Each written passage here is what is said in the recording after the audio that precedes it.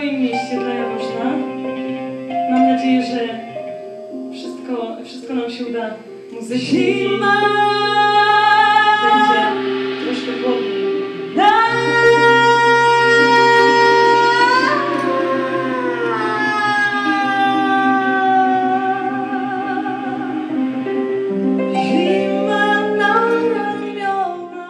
Energetyczny koncert sióstr Goławskich odbył się w niedzielny wieczór w Teatrze Sztuk. Ewa i Kasia przedstawiły kilka nowych piosenek zaaranżowanych ze znakomitymi muzykami. Jaworznianki są pełne energii i radzą sobie na scenie bardzo dobrze. Zapraszamy do obejrzenia fragmentów koncertu.